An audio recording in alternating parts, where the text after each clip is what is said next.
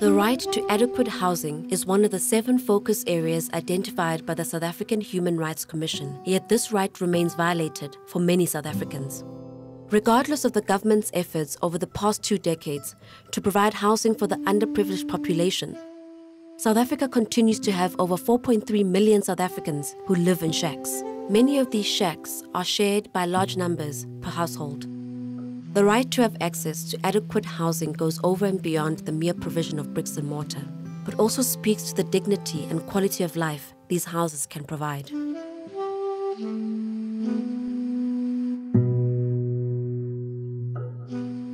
Refusing to accept the current status quo, a young man from Mofolo, Soweto, is striving to create better living conditions not only for his family, but for the greater community as well.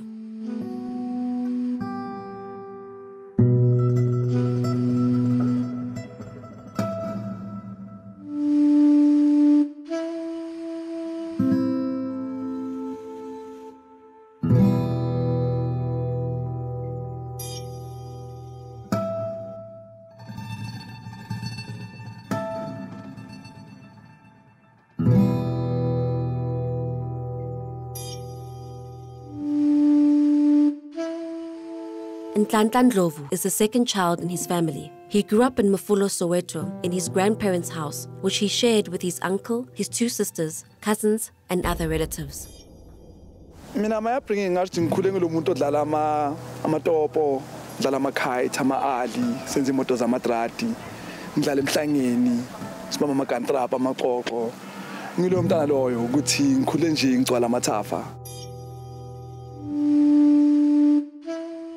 It was actually quite adventurous because like uyabona kunemhlanga lana and stuff nama-park. So we used to go out like we used to have like njalo nje masiphuma esikolweni we used to have i-adventure. Well i-upbringing yethu bonke kuzobe aware ukuthi ini yini ukuthi nje instead omunye umuntu angayibeka as a disadvantage ukuthi umuntu nomuntu akanaro lakhe or eninini. But thina uma ukhula ni close up together uyajwayela ukuthi nje mozolala in between awubhuti bakho abayi-two and then ugoba inyawo bazokutsipa laphayana. So till today ngilala ngi-straight kanje. Ngikhula nabo malume baswa isitofu samalahle wonke umuntu ahlala ekhishini sigcwala isitofu samalahle.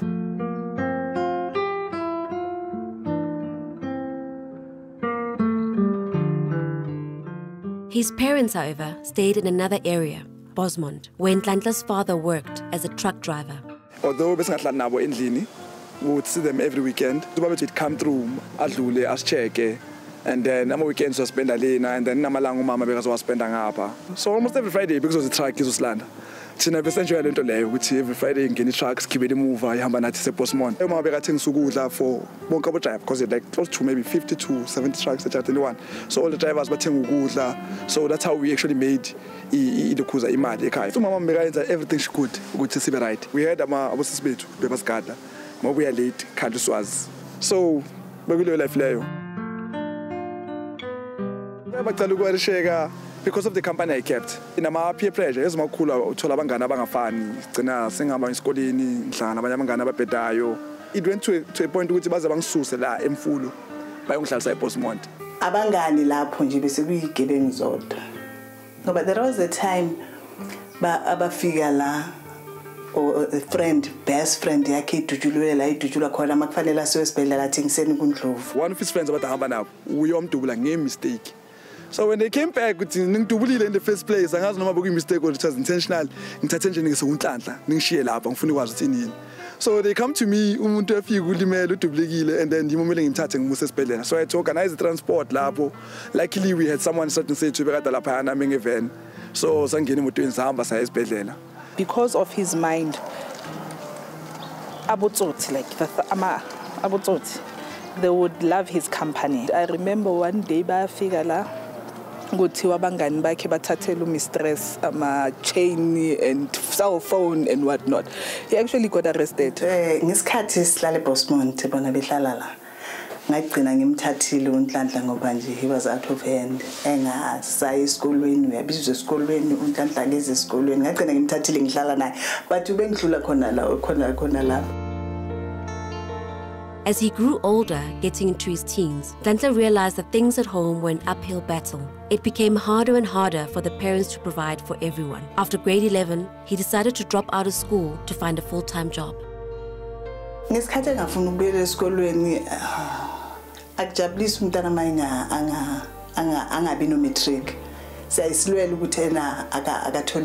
i tried izinto eziningi i went kuma-social worker ngaya bonicro ngayo kuphi kodwa ngahluleka indaba yowenza isikolo i think ihlangene ne-lifestyle bekade ngiyiphila at the time. As uma umncane you think you know everything. Ukuthi i dropped out I ngazosifaka la elokishini esikoleni which was i-eral school. At the time bekumele futhi ngiphande so ngathola umsebenzi yabe ngishaya ama-odd jobs. A few days before he was supposed to start writing his final exams, Nhlanhla was offered an opportunity to travel to Lesotho to install tombstones. This would be an upgrade from his 70 Rand per day fee to 1,500 Rand for two days, an offer too good to refuse. besibamba ama-piece job kulo mama lo beyenza ama-tombstone umama vix.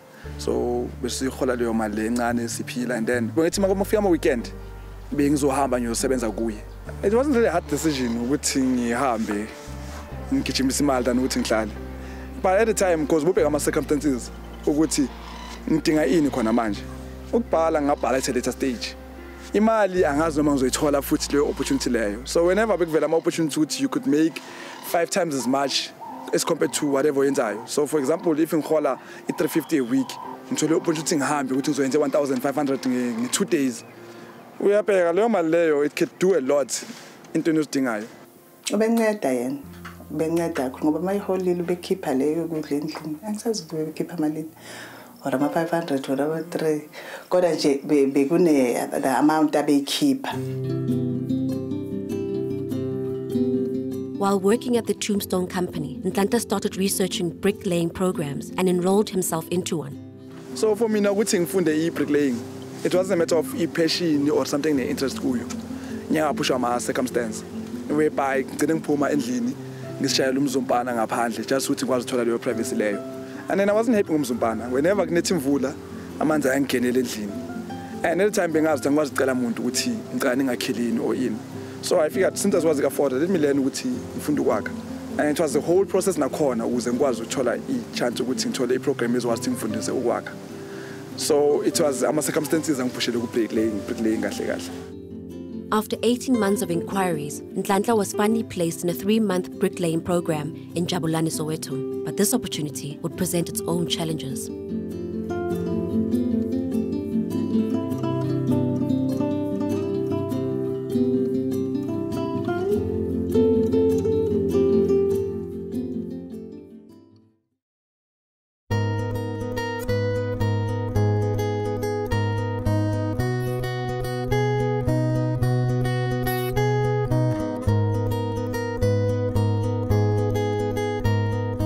Nhlanhla was now enrolled in a three-month bricklaying program. He was not making any money from this. What kept him going was his sheer determination to learn. His mother stepped in to try and make this experience a little easier for him.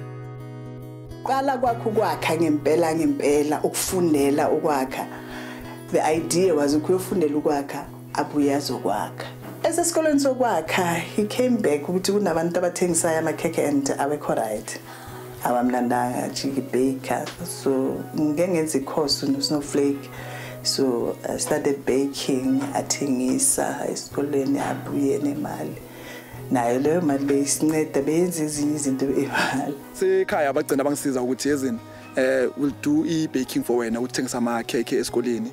So naleyo beyisiza quite a lot ukuthi bengiba nemali ye-lunch esikoleni nokuthi ngikwazi ukuthi ngitravele futhi ngaleyo mali leyo. And then i bought a camera ngale mali bengidukhuza ngacala ngishutha ney'thombe futhi of other students mababhizi bafunda laphayana.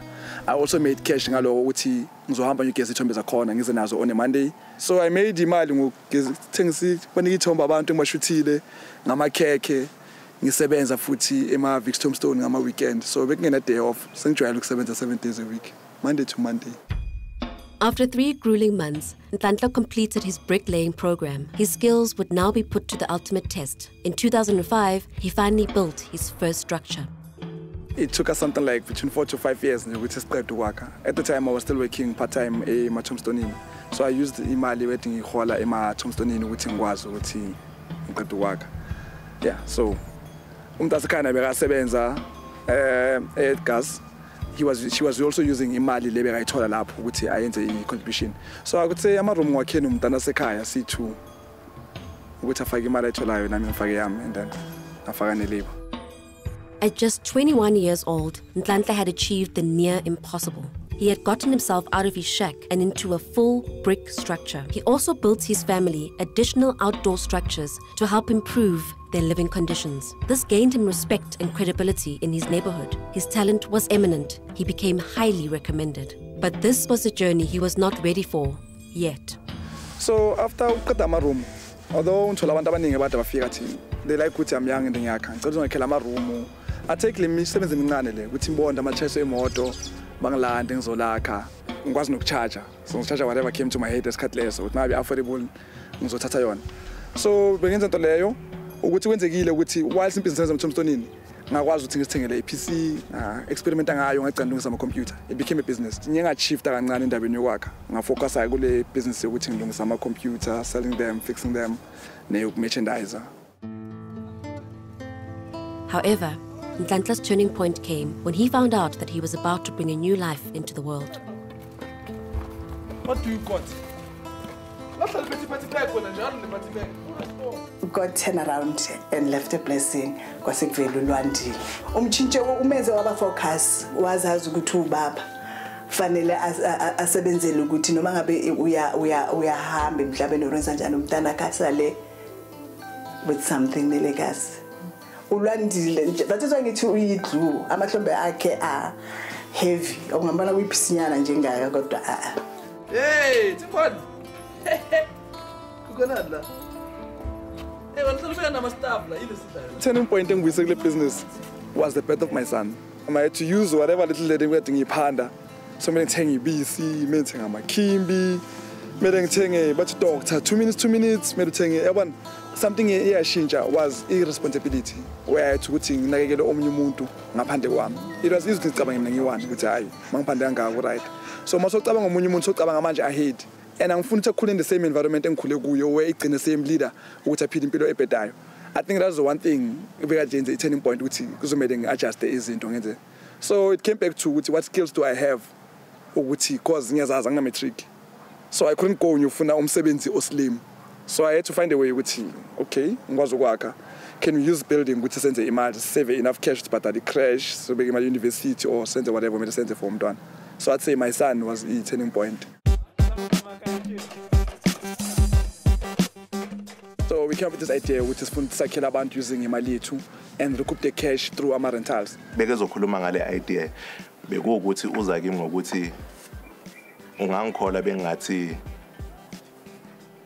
singenza istokfela ngokwakha izindlu Hustle Mix is a social enterprise where we're using i- i- i-construction as a way ukuthi sikwazi ukuthi size abanye abantu ukuthi bathole i-access to adequate housing. So we actually believe ukuthi everybody has the right ukuthi athole i-access to adequate housing. So we're doing our bit ukuthi sinikeze abantu leyo access leyo.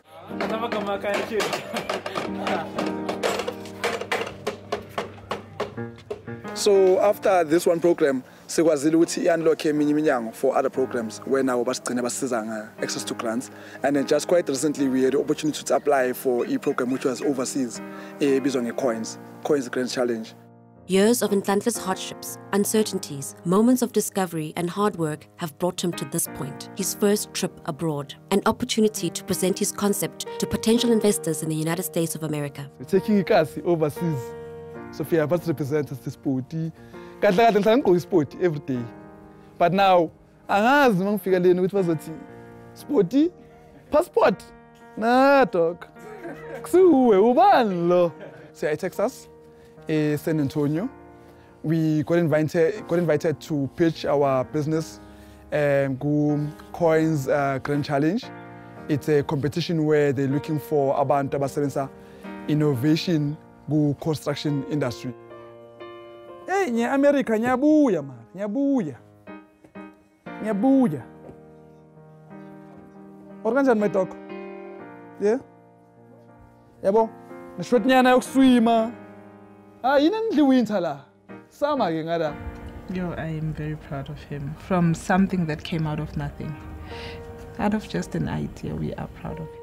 makhosi baba nkulunkulu waphepha konke esikwenzayo baba uthandeka sikubike kuwena mnini mandla wonke nankunhlanhla baba nkosi yamakhosi esaphuma nkosi yamakhosi othandekayo emazweni nkosi yamakhosi akude siyazi nkulunkulu kuwo konke lokhu kuvulwe uwe jehova nkulunkulu kuvulwe uwe mnikazi wey'nto zonke baba siyabonga kuqhamuka iscripture la ekuthiwa khona ibethlehem umzinyana omncane ujesu angaphuma kanjani lapho? Ukuthi from la namhlanje unhlanhla is going overseas. Then sunday it was my first time ngimbona in action telling my apostle ukuthi uyahamba. And then i'm like wow is this really my son? Amen. Oh mfana wami god bless you. Sabonga malume. Hambe nojesu hamba naye. Trusting ngenhliziyo yakho yonke. Ya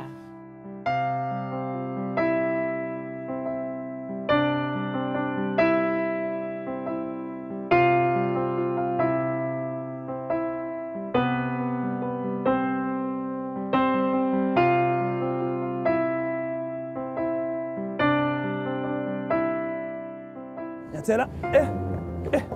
Ema ema andi dodo Hambe kahle.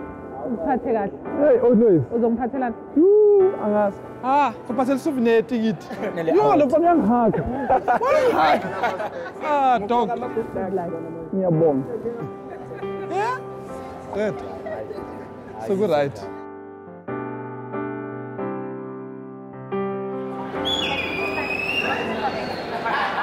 It's bon voyage for Nhlanhla as he sets off to Texas to present his life changing concept to potential international investors. What will this new dawn bring for this young man?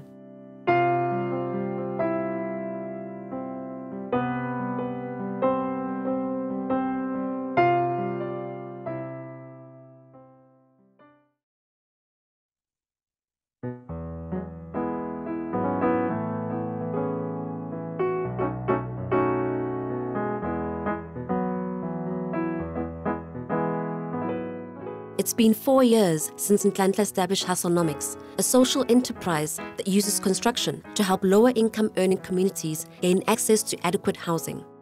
And after a week away from home, Nhlanhla was back from Texas, where he presented his Hustlenomics concept as part of the Coins Grand Challenge for people innovating the construction industry. So sengibuyile from uh, Texas. So category yami I actually came up second. Uh, where there's actually a prize in engizoyithola for Puma number two and the same company eCoins izoqhubeka isisize ukuya phambili.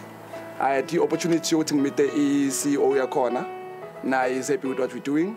So naye same uthe it doesn't matter ukuthi competition besambe kanjani he still would have wanted ukuthi afake imali going forward ukuthi siqhubeke. So coming back even though it was a 21 hour flight was more excited I was on next. Yeah. So the whole experience here was great.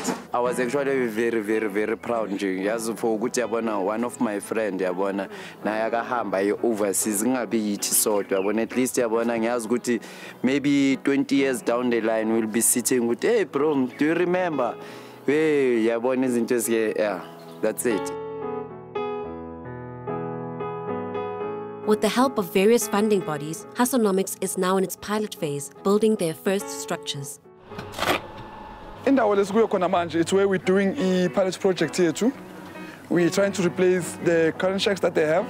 See, if I sifake a formal structure using ama-interlocking bricks Through vigorous online research, Nhlanhla discovered the technique of building using interlocking bricks. While people are still not informed about this new method, Nhlanhla is using this opportunity to educate the masses and set a new trend.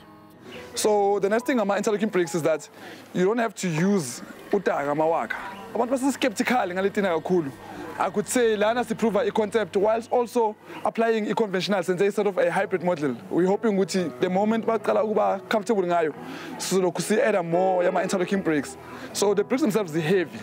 So the weight yona self yiyo i- isitina stable. And then all you have to do mosebenza i think usebenzisa nje i-brush i-rubber mallet. So you always have to make sure ukuthi uyayiklina indawo lena because once you lay a brick kunelitshe noma thiwa lincane litshe lakhona isitina ngesikhosta straight So you make sure ukuthi you clean before usibeka every time and then you use the rubber mallet ukuthi ukwazi ushaya into place.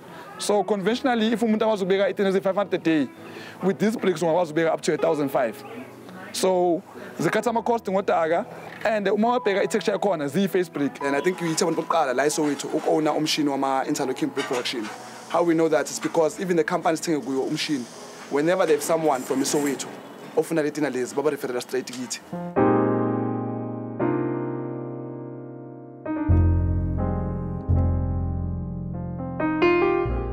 What I've learned from uNhlanhla chasing our dreams, Ukutena, anything is actually quite possible. We must stop complaining and just do something about your situation actually.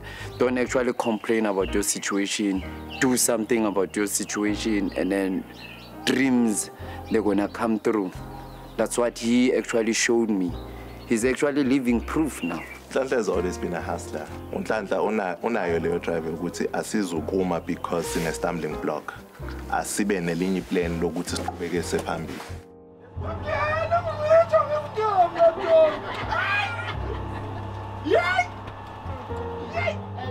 My dream for Hustlenomics is to get it to a point where it is recognized firstly as a social enterprise where priority is to impact people's lives.